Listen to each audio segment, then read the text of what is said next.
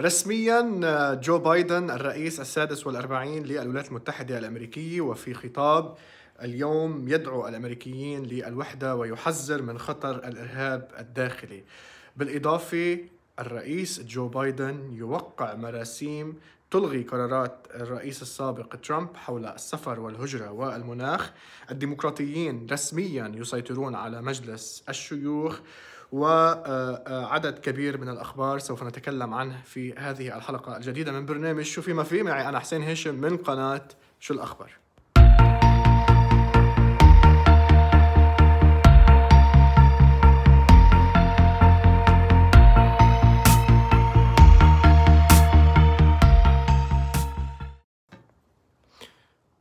تحياتنا لكم متابعينا من قناة شو الأخبار؟ معكم حسين هاشم وحلقة جديدة من برنامج شو في ما فيه. نهار طويل جدا اليوم. نهار تاريخي للولايات المتحدة الأمريكية ورئيس جديد وعملية انتقال سلمي للسلطة جديدة في الولايات المتحدة الأمريكية. اليوم نهار الأربعاء 20 يناير. كتير عالم كانت منتظرة هيدا النهار. وكتير أشخاص ودول ومراقبين وخبراء ومحللين كانوا عم بيعدوا يمكن الأيام والساعات للوصول إلى هذا النهار.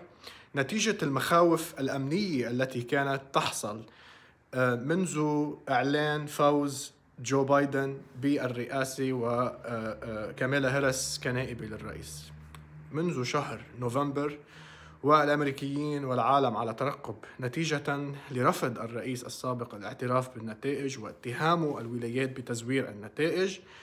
وما حصل في الكونغرس الأمريكي هو في مبنى الكابيتول نهار الأربعاء المشؤوم نهار جانيوري 6 من حالة تمرد ودخول وتدمير وإحراق وتكسير وتعدي على الديمقراطية الأمريكية نهار 6 يناير من المتطرفين. آه، ورأى العالم ورأى الأمريكيون الحزم عندما يأتي الموضوع إلى الحفاظ على الديمقراطية الأمريكية إلى الحفاظ على العمل المؤسساتي والمؤسسات الأمريكية إلى الحفاظ على الكيان الأمريكي والوحدة الأمريكية ليس هناك تهاون من أي أحد. بينحط الأحزاب تنحط على جنب.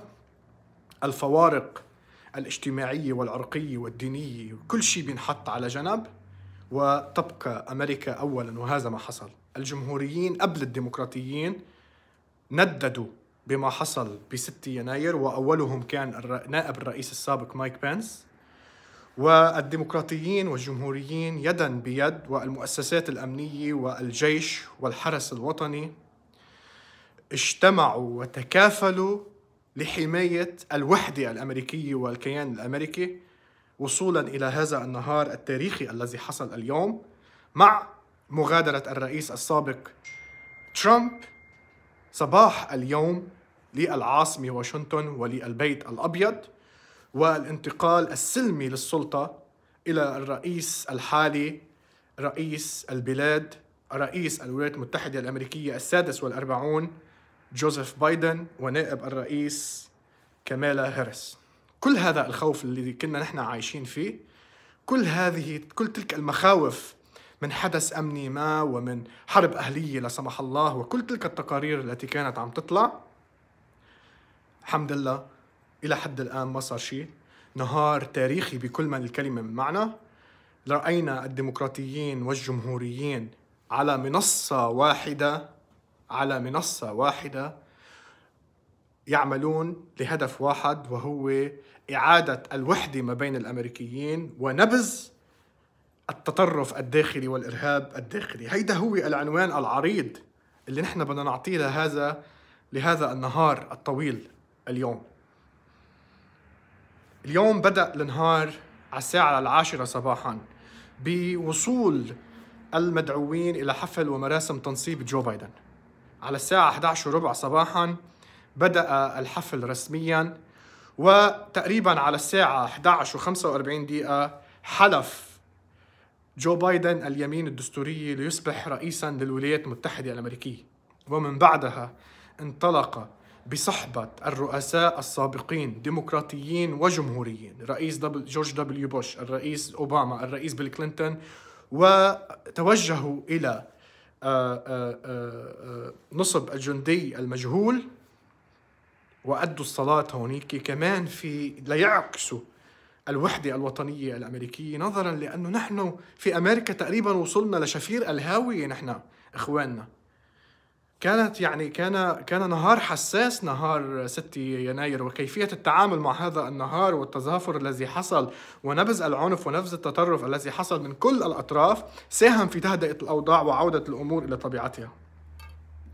طيب خلينا نوصل لموضوعنا بس حبيت أنا أنوه بهيدا الموضوع. كونه نهار بكل ما للكلمة من معنى نهار تاريخي مش بس لأمريكا للعالم كله.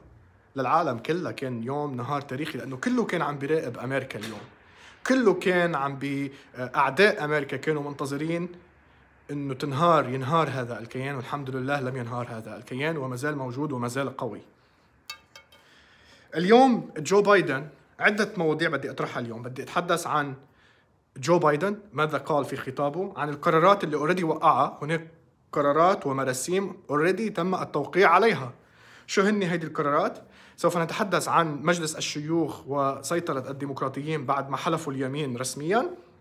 آه، الصين آه، تضع مايك بومبيو آه، تفرض عليه عقوبات اليوم. شو تبعات هيدا الأمر؟ وفي أسئلة أجتنا بدي جاوب عليها. فخلينا نبلش بأول موضوع. في خطاب التنصيب اليوم أكد الرئيس الجديد الأمريكي جو بايدن أنه سيكون رئيسا لكل الأمريكيين بغض النظر عن بغض النظر عن كونهم من المؤيدين له أو المختلفين معه مبرزا أن حفل تنصيبه رئيسا هو انتصار للديمقراطية ووعد بايدن بإلحاق الهزيمة هيدي كتير مهمة هيدي قال اليوم لأول مرة رئيس أمريكي يقول هذا علنا.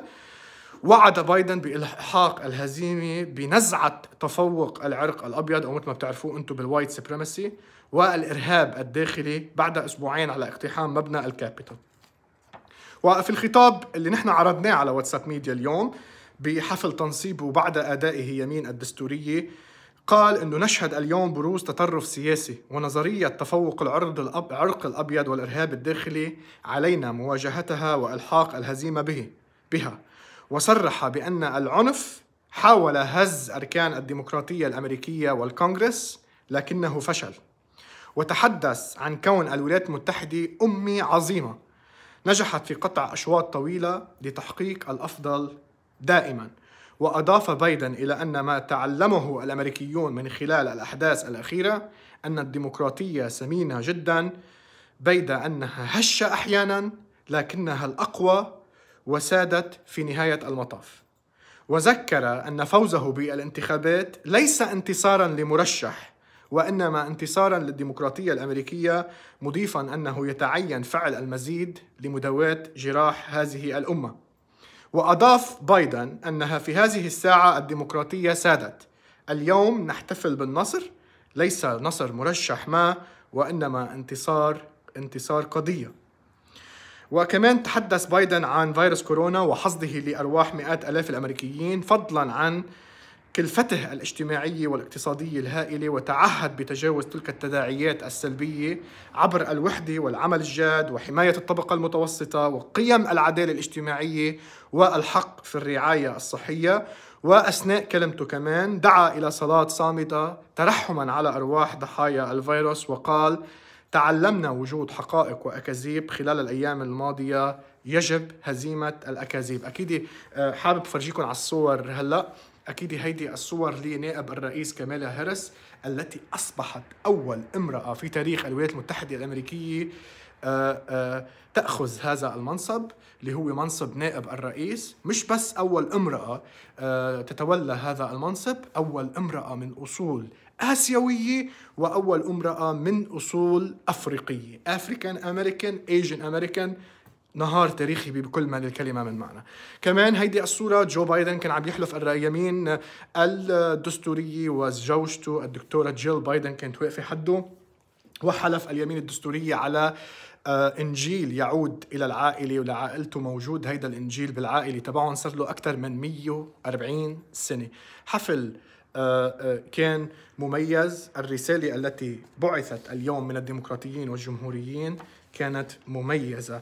وما حصل اليوم يعني تزامنا مع تنصيب الرئيس جو بايدن بعث 17 نائبا جمهوريا رسالة مشتركة للرئيس المنتخب أكدوا فيها تطلعهم للعمل معا حفاظا على وحدة الأمريكيين بعيدا عن الانقسام والفرقة. وقال النواب الجمهوريين هيدي رسالة مهمة كمان عم تحكوا عن جمهوريين وعن الانقسام اللي صار والاتهامات اللي صارت. لتنبعت رسالة من 17 نائب جمهوري في نهار تنصيب بايدن لبايدن كمان أمر مهم. وقال النواب الجمهوريين في رسالة في رسالة لبايدن قدمها النائب عن الحزب الجمهوري بيث فان دواين عن ولاية تكساس أن ما يجمع الأمريكيين أكثر من ما يفرقهم وتابعوا نأمل الترفع عن الصراع الحزبي للحفاظ على مكانة أمريكا كأفضل بلد في العالم. وأكيد من بين النواب الذين وقعوا على هذه الرسالة كان في ماديسون كاورسي بيري مور آه، بيتر آه، مايجر أشلي هانسون وعدد آخر أكيد في 17 نائب من الجمهوريين آه، وقعوا على تلك الرسالة. أكيد أكيد اللي صار اليوم كمان بنفس الوقت إنه الرئيس جو بايدن already وقع على مراسيم. أنا عندي صورة هذه صورة. الرئيس جو بايدن توجه إلى البيت الأبيض قال لهم أنا ما عندي وقت أصلا إنه اخسره ما عندي وقت ضيعه لدينا عمل كثير وعلينا أن نبدأ العمل من الآن. حتى المتحدثه باسم البيت الأبيض ووزيره ال press secretary وزيرة الإعلام كان عندها مؤتمر صحفي. هلأ أنا قبل ما أطلع على الهواء مباشرة كان عندها مؤتمر صحفي. في النهار الأول عندهم مؤتمر صحفي. في النهار الأول جو بايدن بيوقع على مراسيم وقرارات كثيره شو صار؟ بدأ الرئيس الأمريكي جو بايدن عهدته الأربعاء بتوقيع 15 إجراء إجراء تنفيذيا لمعالجة شائحة فيروس كورونا وتغير المناخ. وعدم المساواة العرقية وإلغاء بعض السياسات التي وضعها سلفه دونالد ترامب. شو عم بيصير عندنا هلأ؟ تبدأ هذه الإجراءات التي تفي بوعده التحرك سريعا في اليوم الأول من رئاسته عملية عودة الولايات المتحدة إلى اتفاق باريس للمناخ. فوقع قرار إنه يرجع أمريكا على ال Paris Climate Accord باريس اتفاق باريس للمناخ already وقعوا. تشمل أيضا إلغاء التصريح الرئاسي الممنوح لخط الأنابيب النفط المثير للجدل ال Keystone. كمان لغى هيدا التصريح الممنوح اللي كان عاطيه الرئيس دونالد ترامب. كمان كمان وهذا أمر جيد جدا. هذا أمر جيد جدا لأتحدث عنه هلأ حاليا. already يا إخواننا بايدن هلأ الرئيس بايدن وقع على إلغاء قرار ترامب المجحف بحق الدول ذات الغالبية الإسلامية بايدن اتخذها قرار ووقع المرسوم بإلغاء حظر السفر الذي فرضه ترامب على بعض الدول التي تقطنها أغلبية مسلمة. هيدا القرار وقع وأصبح نافذ. فمبروك لهودي الدول اللي أهلكم كانوا محرومين من أنه يجوا على هيدا البلد بسبب قرار من رئيس سابق. كما دعا إلى تعزيز برنامج الإجراء المؤجل للقادمين في مرحلة الطفولة أو ما يعرف ببرنامج الحالمين للمهاجرين الذين قدموا إلى الولايات المتحدة وهم أطفال. رجع داكا آه، بعت اوريدي هلأ مشروع قانون إلى الكونغرس الأمريكي لإعادة هيكلة نظام الهجرة والتجنس في الولايات المتحدة الأمريكية. هذا أمر أمر مهم جدا ما حصل اليوم في النسبة لموضوع الهجرة والسفر إلى الولايات المتحدة الأمريكية هودي الاثنين لحالهم كثير مهمين. كثير كثير مهمين وخصوصا لنا نحن كجالية عربية موجودة في الولايات المتحدة الأمريكية. أيضا أمر الرئيس بارتداء الكمامات والتزام التباعد الاجتماعي في جميع المباني الاتحادية يعني المباني الفيدرالية مش بكل أمريكا. حيلا مبنى فيدرالي بدكم تفوتوا عليه بدكم تلبسوا كمامة. وعلى جميع الأراضي الاتحادية وينهي إعلان حالة الطوارئ الوطني الذي كان أساسا لتحويل بعض الأموال الاتحادية لبناء جدار على طول الحدود بين الولايات المتحدة والمكسيك. كمان وقف يعني خليني أخذهم واحد واحد. الماسك أو الكمامات بدكم تلبسوهم بالمباني الفيدرالية. ابتداء من اليوم هذا القرار مشي. وإذا بتطلعوا أنتم بوسائل نقل هيدي الوسائل النقل بتروح من ولاية على ولاية كمان بدكم تكونوا لابسين كمامات كل الأوقات.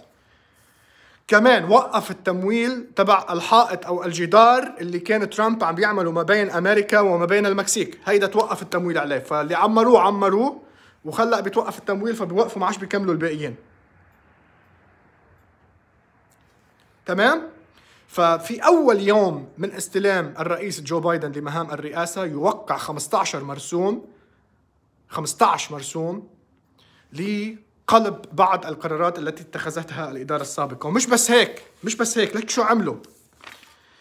وجه كبير موظفي البيت الأبيض مذكرة للوكالات الفيدرالية لتجميد قرارات ترامب الأخيرة للستين يوم لمراجعتها. وذلك في الساعات الأولى من تولي الرئيس الأمريكي دون آه، الجديد آه، جو بايدن مقالة السلطة. فبعثوا للوكالات الفيدرالية قالوا لهم حيلا قرار مطلعه ترامب بهودي الستين يوم الأخير روقوا علينا شوي لحتى ندرسهم لهيدي القرارات ومنقول لكم شو بدكم تعملوا فيهم. فعملوا فريز على تطبيق القرارات اللي طلعها ترامب بالأيام الأخيرة في الحكم تبعه. للوكالات الفيدرالية. تمام؟ طيب في ظل هذا الموضوع كان أيضا هناك أمر ثاني عم بيحصل اليوم. هناك أمر ثاني يحصل اليوم. في مجلس الشيوخ كمالا هاريس أصبحت الآن نائبة الرئيس. وعندما تصبح نائب الرئيس تصبح أنت يعني رئيس مجلس الشيوخ ال president تبع مجلس الشيوخ تبع ال Senate وبالتالي الآن شو صار اليوم؟ اللي صار اليوم إنه نائبة الرئيس كمالا هاريس كمان راحت على شغلها دغري ما اخذوا break واللي عملوه إنه أدت اليمين الدستورية لثلاث أعضاء جدد في مجلس الشيوخ كما ترون في هذه الصورة. أدت اليمين الدستورية كما ذكرنا لثلاث أعضاء. للسناتور الديمقراطي جون أوسوف والذي تغلب على السناتور السابق ديفيد بيردو. للسناتور الديمقراطي رافائيل وورنوك الذي تغلب على السناتور الجمهورية كيلي لوفلر. وأيضا كون كون نائب الرئيس كانت هي سناتور بكاليفورنيا فلما بتستلم نائب رئيس لازم تسلم الكرسي تبعها لحدا. ف أليكس باديلا كمان سناتور ديمقراطي سوف يأخذ مكان كمالا هاريس فمثل ما شايفين قدامكم بالصورة جون أوسوف رافائيل وورنوك و أليكس باديلا أدوا اليمين الدستورية هلا كمان قبل يعني ساعات مش ساعات يعني هلأ من ساعة أدوا اليمين الدستورية وليصبحوا رسميا أعضاء في مجلس الشيوخ وبالتالي بالتالي إخواننا اللي صار هلأ حاليا مجلس الشيوخ 50 ديمقراطي 50 جمهوري لكن كون نائب الرئيس ديمقراطية فهي الصوت الفاصل tie breaker نحن بنسميه بالتالي أصبح الديمقراطيين الآن يسيطرون على مجلس الشيوخ على مجلس الشيوخ.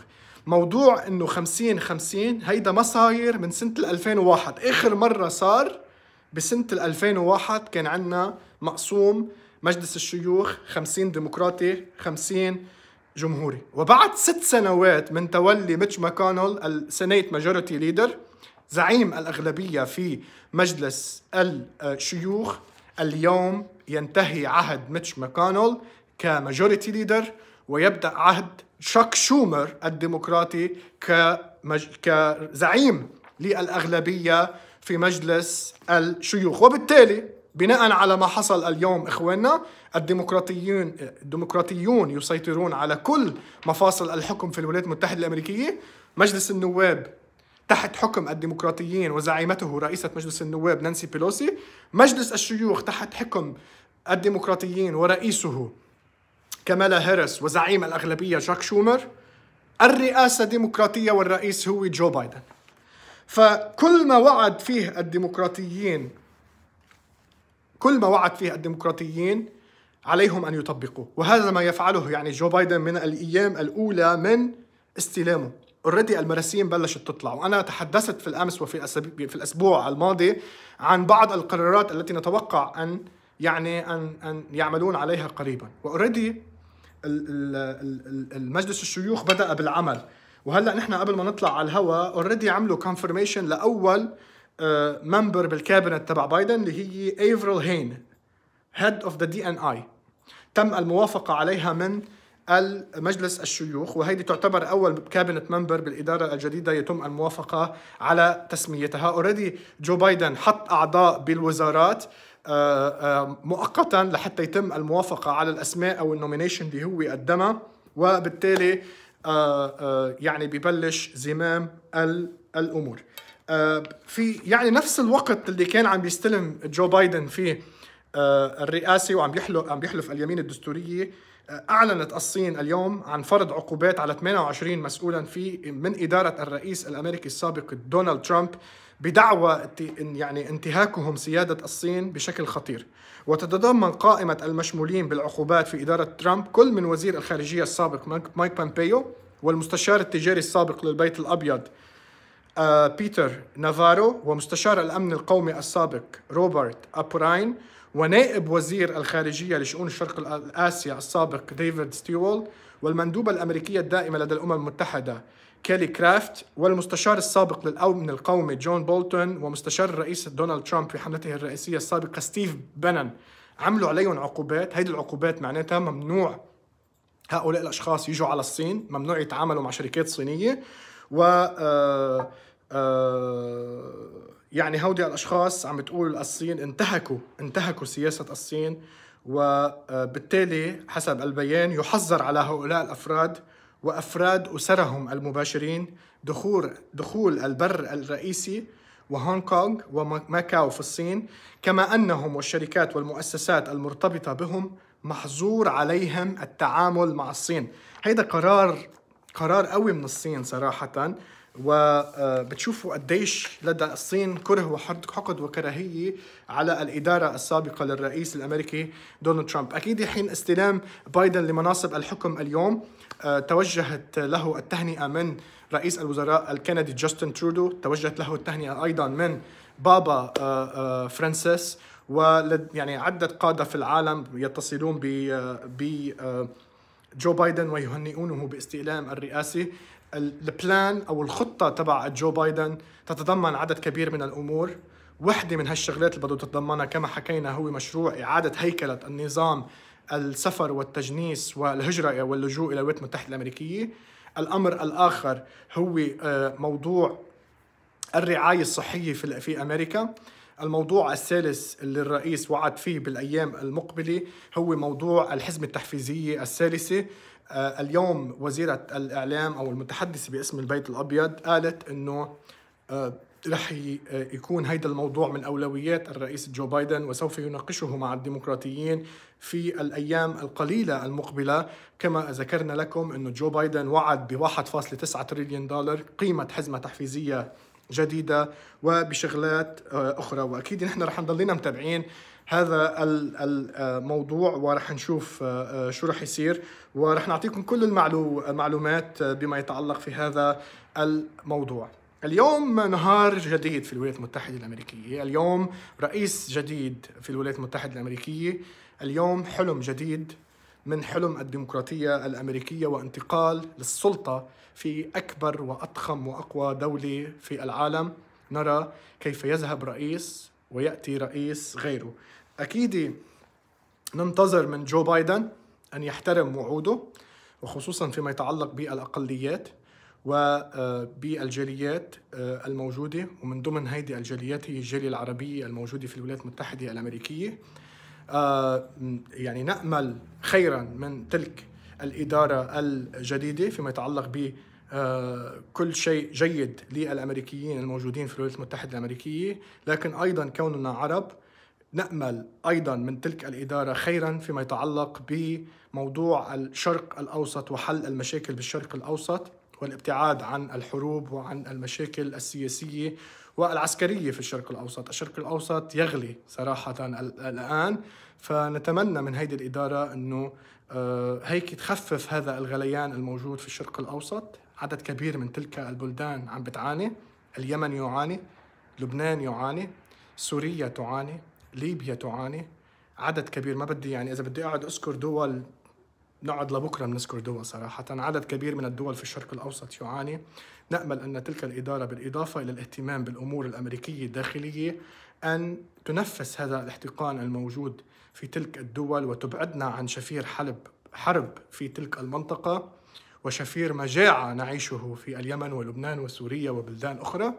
عسى أن يستقر وتستقر الأمور في تلك البلدان نظرا للمآسي الذي التي تعانيها تلك الشعوب صراحة في هذه الأحيان. يمكن نحن بأمريكا تضايقنا من كورونا آه، تضايقنا من آه، هيدي الجائحة إنما الدولة قدمت مساعدات لهيدا الشعب لمرتين.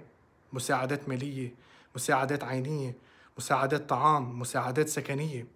إنما في تلك البلدان في الشرق الأوسط مثل لبنان مثل سوريا مثل اليمن هناك أشخاص ينامون دون أكل. عم بيموتوا من المجاعة. عم بيموتوا لأنه ما معهم حق رغيف خبز. فنأمل خيرا. نأمل خيرا. نأمل خيرا. أكيد العراق كمان. أنا ما بدي أذكر أذكر دول لأنه ما بدي فوت بالتسميات بس إنه هودي البراسي هلأ حاليا. العراق لبنان يمن سوريا ليبيا فلسطين كل هالبلدان اللي عم بتعاني نتيجة يعني الأزمات والفساد الموجود. ما نحن مشكلتنا من إيدنا نحن بهيدي البلدان. يعني عندكم على العدو الداخلي والعدو الخارجي. نحن أصلا أعداء نفسنا بهيدي البلدان. لأنه نحن كل ما يحطوا حدا مسؤول في السلطة بتلك البلدان بيطلع كيف بده يعني يعبي بجيبه ومش فرقانه معه لا شعب ولا حدا. بس اللهم نفسي. يعني عسى إنه توقف هيدي العقلية عقلية اللهم نفسي واللهم أنا كيف بدي أعبي جيبي إلي ولعائلتي من بعدي. طيب بعين الله أكيد. بعين الله العالم كله بعين الله أمريكا وبعين الله بلادنا والعالم أجمع. نحن وإياكم أكيد نتضرع إلى الله ونصلي إلى الله إنه يعم الأمن والسلام على أمريكا وعلى العالم أجمع وعلى الشرق الأوسط. آه إن شاء الله بتكون بداية خير وبداية حب وبداية سلام ومحبة ما بين الجميع وأمن وأمان. و آه شكرا لكم على متابعتكم. نتأمل خيرا من الإدارة الجديدة. أه وإن شاء الله مش ما بعرف بدي لكم. إن شاء الله كل شيء على سلام يا رب. نحن وياكم إن شاء الله مضلين على تواصل. سوف يكون لنا تغطية لجميع الأحداث على الصعيد على صعيد أمريكا وعلى صعيد العالم. سوف نتابع القرارات التي سوف تصدر عن الرئيس الحالي. كمان كوننا لدينا متابعين كثر من مدينة ديربون سوف يكون لنا تركيز على الانتخابات التي سوف تجري في مدينة ديربون هذا العام انتخابات العمدة وانتخابات المجلس البلدي وأيضا في مدينة ديربون هايس وفي المدن الموجودين فيها عرب رح يكون في لنا تركيز. أيضا أتمنى التوفيق اليوم لزميلتنا وفاء في برنامجها بنتمنى منكم تحضروها على الساعة 9 بعد ساعة تقريبا. برنامج أسرار مخبية. رح يكون اليوم الليلة الساعة التاسعة مساء. الحلقة الأولى بنتمنى أنه تشاهدوا وتدعموا هيدي البرامج اللي عم بتحاول آه، من خلالها نسلط الضوء على أمور تخص الجاليات العربية والشرق الأوسطية الموجودة في الولايات المتحدة الأمريكية. أيضا نتمنى منكم مثل ما بقول لكم على طول مثل ما بختم like و follow لصفحتنا على فيسبوك على إنستغرام على تويتر subscribe على يوتيوب آه، تفعيل جرس التنبيه turn on notification على كل هيدي الصفحات شير لهيدا الفيديو. حتى تدعمونا. وأيضا انضموا إلى مجموعة الأخبار الخاصة فينا. إلى نلقاكم في حلقات مقبلة من هيدا البرنامج وبرامج أخرى. كان معكم حسين هاشم من قناة شو الأخبار. إلى اللقاء. تصبحوا على خير.